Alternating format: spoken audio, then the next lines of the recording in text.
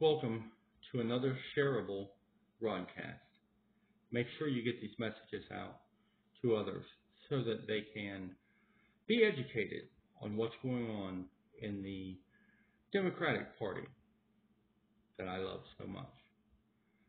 Today, I've come across several articles, uh, and I've tried to stay against some of the pending litigation out there, but it's time for me to give some sort of an update as to how important it is to stay up on things like the Freedom Act uh, and Patriot Act and Section 3, which deals with the financing of the campaigns through the Ku Klux Klan. As you can see, uh, we've scored a great victory as we've seen some of these sentences handed down to uh, some of the factions of the Ku Klux Klan uh, in the South. And with the ongoing investigation into the SARS reports, we will be able to track down uh, larger money transfers as far as properties uh, that they may have had as investment properties, uh, rental agreements, uh, retail establishments, and some of the other uh, conspicuous incomes uh, that come along with secret organizations. As we do that, I think it's important to realize that our country is changing and it's changing for the better.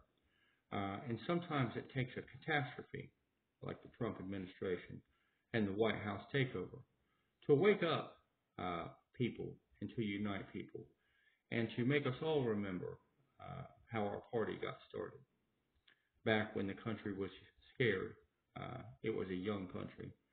Uh, there was a lot of chaos, there was a lot of confusion, and there was only one vision, and that was the vision of Jackson.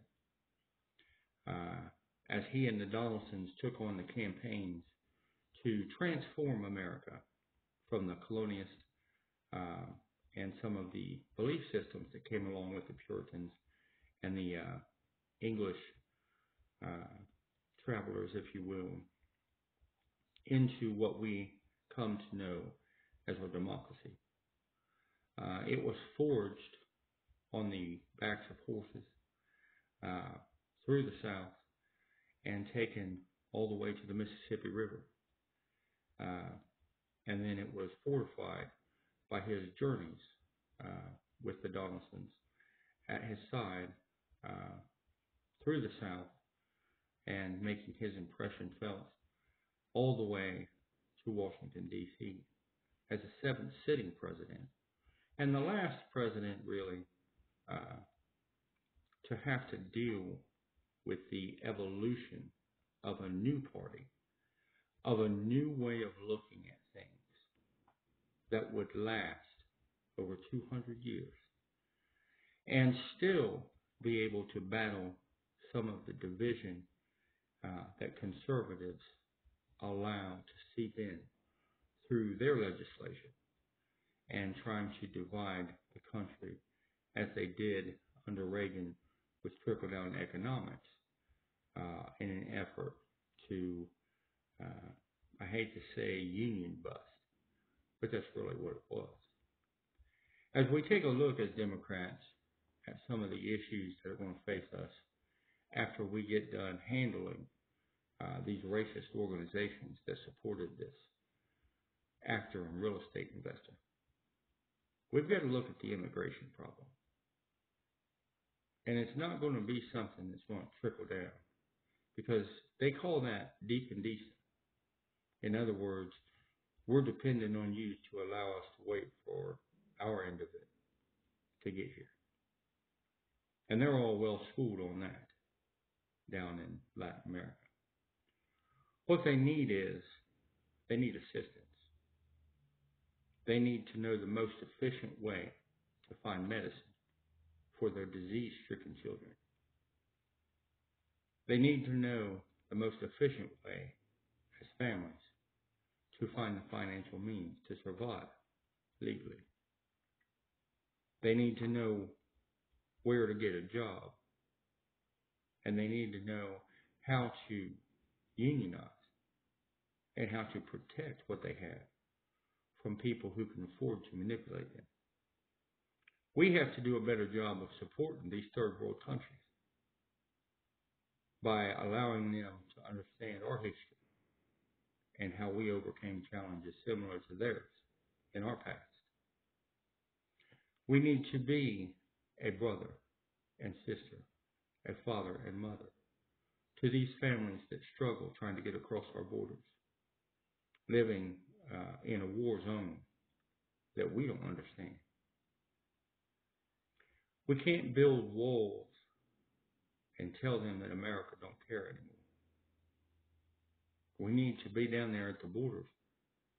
We need to build these welcome centers, and I don't care if they're the size of Olympic stadiums, to welcome these 800 people a day who are seeking refuge and safety from something that is seldom talked about in the media. We need to take a look in Europe once again at what's going on through our uh, faithful eyes and say, Putin is pushing these people out for a reason. And we need to know what that reason is. And every time I see it, it seems like he's pushing them towards Siberia, towards the wastelands, where the unwanted go, who don't have anything, no money, no hope, and no leaders. As a society of people who were pushed out of England because of our beliefs in liberty, I think it's our job to take a look at some options or some alternatives to assisting, which is something that is a trademark of the Democratic Party. We do believe in a society that assists and helps people to find their path in life or their road in their own pursuit of happiness through the foundations that we have provided by our forefathers in the Declaration of Independence, Bill of Rights, and the Constitution, which seems to always provide the answers that we seek in our times of turmoil. Thank God for the United States of America. Thank God for our history.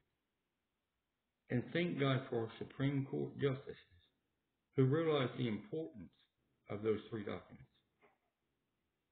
Thank God that people can look back and see all the veterans who have served and died protecting us from tyrants like our friend Roy E. Smith.